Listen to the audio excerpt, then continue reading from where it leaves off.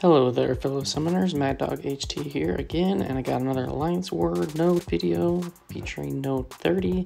This is in tier 2, um, path 1. This has Vigor and Indomitable.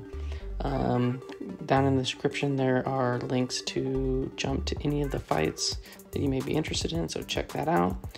Um, and first up, we have a thing um, and, you know, as far as this fight goes, um, I think as long as you have somebody um, that can heal block, um, or, you know, he the thing can't be nullified. So, um, granted, there I messed up on the combo. Um, and here I'm going to have to dig myself out of a hole and hit into the block and whatever. Luckily, he plays well with me there. Um, but yeah, um, this could be a problematic fight, um, especially with you know a stubborn. Like I'm doing no damage right now, and he's healing. But eventually, um, Void will get the heal block up because I have enough um, debuffs. And then it's just make sure that you um, block, and hopefully he throws a special um, here he gets he gets um, that L2 sting, which um, puts on two weaknesses, so that's kind of nice. Um, a degen would have been nice to get, um, but just really keep an eye on um, those those rock stacks. unfortunately, I'm, some of these I'm getting uh, clean uh, uh, clean out without dexing and triggering the protection not the protection, but the indestructibles. But now you can see he's going down now. Um, and besides that one mess up towards the beginning, this is going pretty well. Um, if he's not going to throw a special, that's fine. Um, I can just keep parrying him. I got that perfect block chance passive. And then boom, I get smacked. so it was going good. Um, and yeah, just and I trigger. I get done. I, I, I, get the fight done. But man, that was that was close and that was that was kind of ugly. But thing goes down. But definitely just want to make sure that you can keep your um, get, get whoever you have heal blocked or be able to nullify it. But again, thing can't be nullified, so you really want somebody that can heal block um, in some way, shape, or form. Um, here we have uh, Guillotine 2099 going up against Doctor Strange. Um, this is kind of a odd placement. Um, I do have um, Gu- Guillotine 2099 charged up from a prior fight, um, so I'm going to activate um, both the health steal and the power steal, and get get two heavies off to have some protection with that combo shield and you're just gonna see this guy is gonna go down fast. Um, it's a flow fight. Um, I'm not gonna crit, but I'm also um, going to be getting those um, power burn debuffs. And here I, I finished them too fast before I can get to an L3, so now I'm just parrying to try to build up power to an L3 and I don't. I miss it. It's unfortunate. Doctor Strange goes down. I don't get to carry over the combo, but yeah. Okay, so first two fights down, not ideal, um, but we're gonna go up against this Mister Sinister, um, and for this one, we're gonna bring in a Warlock. Um, Warlock is good because um, he can obviously um, heal block with his infection, and with the parry heavy, you get those bleeds and if he happens to throw an L1 to throw those bleeds back on, well, Warlock is immune. So, um, but you can see like, look, I've already gotten four four heavies, five heavies, and he's a third of the way down. Um, unfortunately, this guy does not have um, willpower. Otherwise, it would have gone a lot faster because he'd be degenning like the whole time because the willpower and the and the infection would, would do that. But he goes down um, three for three. And next up, we have a Mephisto. Um, On this one, um, I'm going to be going in, I believe, with. Um, do I have void? And I don't have void, so I'm going in with torch for sure. Um, and um, I believe I'm going to use my pre-fight. Yes. Um, you know, Mephisto can be done with torch without the pre-fight, but it's it can get ugly um, because you got that um, Mephisto is not immune to. Oh, when you look at this, my pre-fight doesn't activate, um, but he has that aura, so he's gonna be gaining power.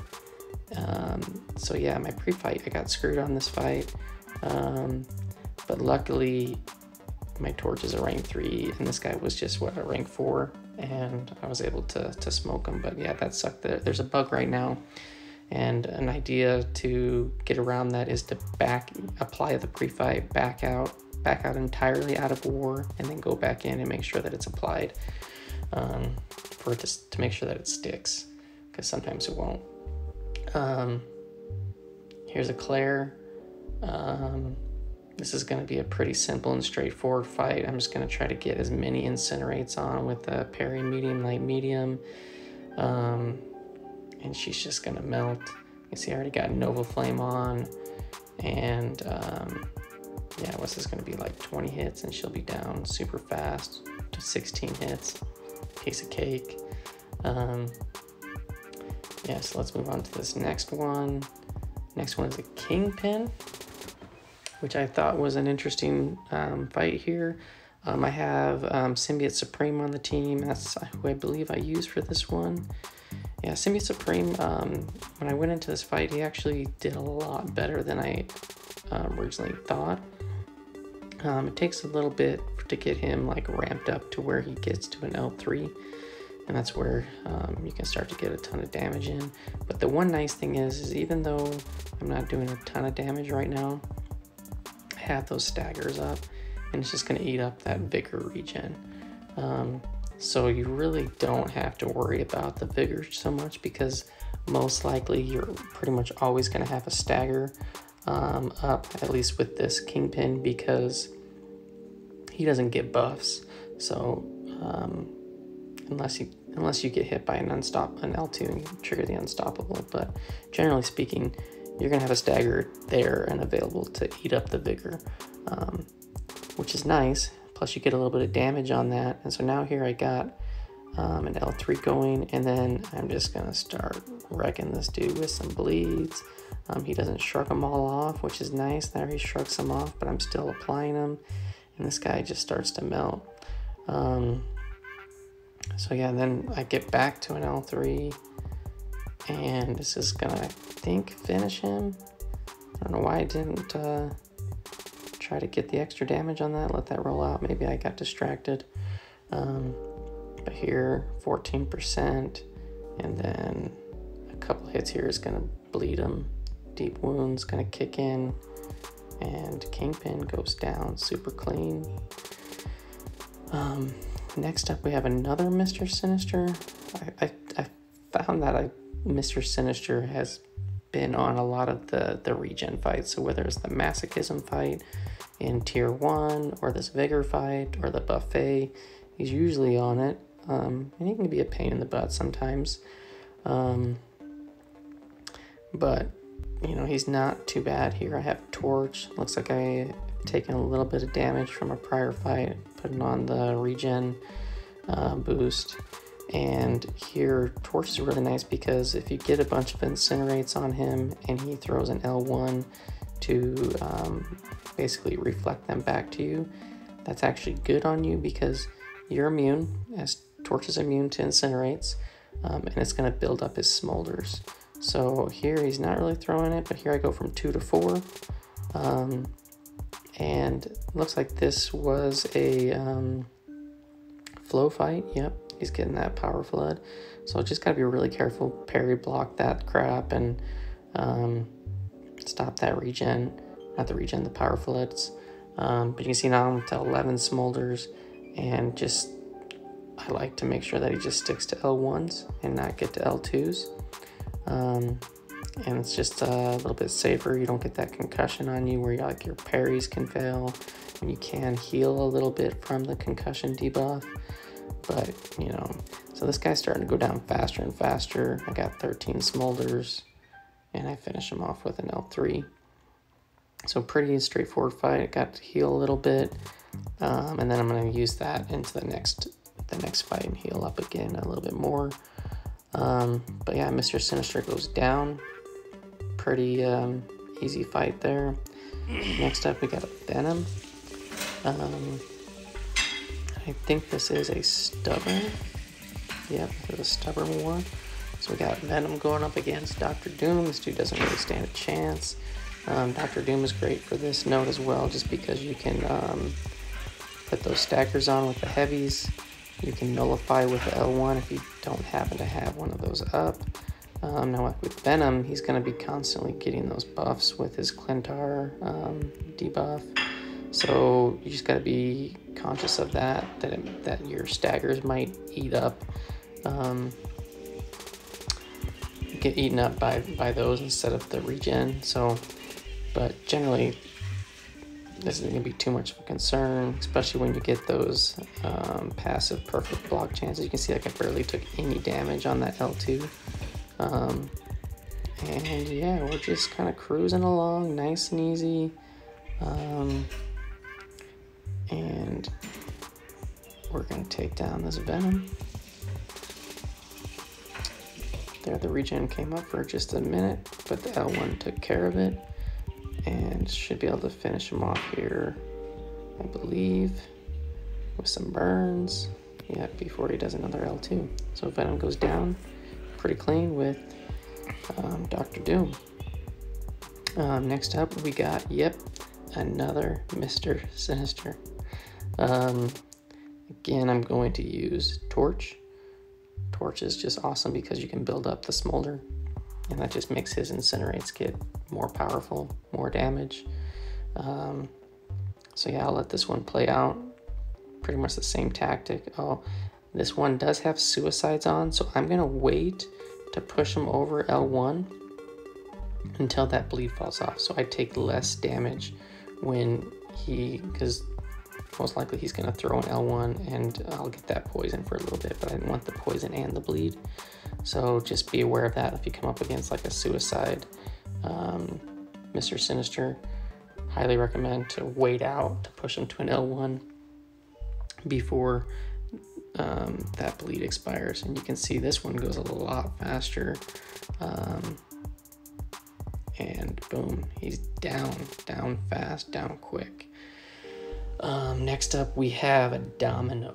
Now, Domino on this node it's kind of interesting. Domino always sucks, at least that's in my opinion, just because you're going to take a lot of unavoidable damage. Um, and with this domino, um, I brought in Thing, um, and the goal and the concept was to build rock stacks as quickly as possible, and then um, just try to out damage Domino with 60 Furies. Um, now you can see I've done zero. She got she got that regen back up. But you know on this on this node when you're when it's when it's gonna be a longer fight, you just gotta have that patience um, and stick to the game plan. Um, here I throw off another L1 and I'm just hoping that I can build the rock stacks up faster. You know, I'm getting all this crit fail damage. Haven't taken any hits, but I've taken a lot of blocks and then the crit fail. It's taken a quarter of my health and I haven't done but 15% and I'm, I'm not gonna get her back. So she's gonna heal all the way back up. We've gone a minute in and I'm just like, okay, okay. Um, but this next one, I believe I'm going to um, wait till I get to L2. And that's just going to get me the damage that I need. Um, and maybe I probably could have, should have went and stick with the L2s to begin with, but um, yeah, I'm not sure. The, the damage probably still wouldn't have been there to get her um, below the 25% marks. Um, so there, boom, I hit her with L2, pushes her over the over the 25 percenter, and then it's just a race to try and make sure that I keep um, pushing her 25% of the time. And I totally, I don't know, I just got off my game there, threw an L1 that got blocked. Um, so I didn't push her to um, below 50%, so she he heals up again. So I'm like, oh man, got half, almost half the time gone by now, but she's at 50%. So we're on track. It's slow, but it's working. But I'm at 50%. So I'm like, okay, got to do some more damage. But you can see like 60 Furies, man. Thing is hitting hard Two, 3 Ks with non crits. Um, and then there I push her over again, but it was just barely too late. She does regen up a little bit, but this she should be finished off here in just a minute. And I get unlucky, and I can't get a block, a parry block, stun, um, taking more crit fail damage, and I didn't get her. I tried to hit an L1 to see if that would help. Um, I do have max petrify, so that one debuff does help a little bit on the um, the regen from being minimized and boom, L1 to finish her off. But that took 80% of my health. And all of it from crit fail, pretty much, and some block damage. But next up here, we have a Red Skull, which is an interesting placement.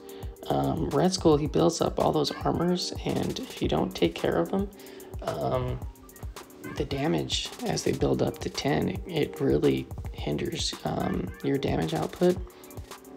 But for here, I'm just gonna use Torch. Um, but you can see, I, I think this is, a, this is a longer fight, a lot longer than I had thought. And I missed my heavy there. Luckily, the second part got him. You gotta be really cautious to not hit into his block, which I'm tempted to do a lot. You don't want to take that damage from the armor. Um, but he's going down, and if he does get that regen up, um, you can block it with um, having some debuffs up. So you can see like I have that heal block, or it's being reduced because I have some incinerates on. But um, yeah, so here I'm gonna throw off my special three. It's gonna get me into Nova Flame, and it's gonna help um, bring this guy down a little bit faster. But you can see like the hits. This guy's at 9 armor, is almost at 10. And the damage is, you know, 500, 500, 488, 493. It's it's not very it's not very good. So um, you really need some type of damage um, damage over time or something to, to nullify and get those um, debuffs off. Um, I'm certain like um, Doctor Doom would do just fine here. Um, but but yeah, you can see like it's it's kind of a struggle to to get that damage in, and um, I don't like to push him to L2. I mean, I can evade his L2, but his L1 is just much more easy to evade and just back up from. But I think I'm gonna get back to an L3 and get back to Nova Flame. I think I'm gonna wait out so that he throws a special so that I can go in afterwards and get him with some uh, Nova Flames. So two L3s on this guy. He's still he's still plugging along. He's at 20%, 17%. See if we can't get some Novas on this dude and power sting him. Now throw your special, boom, nice. But it gets the regen just in time to survive a little bit more. Luckily the chip damage from like blocking and stuff is very minimal. So that was a clean fight, a little bit longer, but 84 to nothing, I'll take that. Now we got another thing. Um, this one is unawakened, but it's a six star. Um, this is a stubborn war and I believe I'm gonna go back in with Void. No, I'm gonna go in with Torch. Um, Not sure the reasoning behind that. Probably I have to I'd have to look at the other video to see why I used and saved void. Um, but yeah, so here I'm just gonna make sure that I pay attention to those rock stacks. There I do trigger the, trigger the indestructible, but he throws the special and that is good. So as long as he is throwing a special, um, we should be good. Throws it again. I don't trigger the indestructible there, so that was nice. Um, and we're just trying to do medium light mediums. Uh, make sure I get a lot of uh, incinerates on this dude and um, push him to his specials. And here I don't get him back to an L1, so I'm going to hit into his block, which is okay. But yeah, okay, so we get out of that. We're, we're going to remove that indestructible though. There I throw an L2. It's not going to do any damage.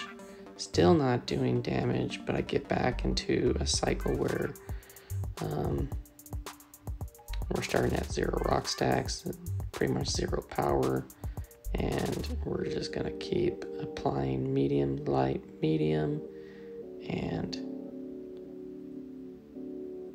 take him down. Barely barely before that regen kicked back in. So, could have been done better, but hey, I didn't get hit. Took fairly minimal damage, and the thing goes down. And I think this is the last war of the season. This has a Longshot on it. Definitely going in with um, Torch again. Torch is such a beast. Um, I had already used my pre-fight, so I think I'm trying to get my pre-fight back. I don't. Um, and for me in this fight, I'm gonna just try to let the let the incinerates do the work, keep them to an L1. You know he has a really powerful L2 that has those incinerates, um, but Torch is immune to, would be immune to that. But anyways, um, I just feel like the L1's a little bit easier to evade and get away from. Just trying to play it as safe as possible. Um, and boom, he's dead. So I only saw one special from that um, Longshot. And that's Node 30 for you. Thanks for stopping by, fellas, and watching. I'll see you guys in the next one.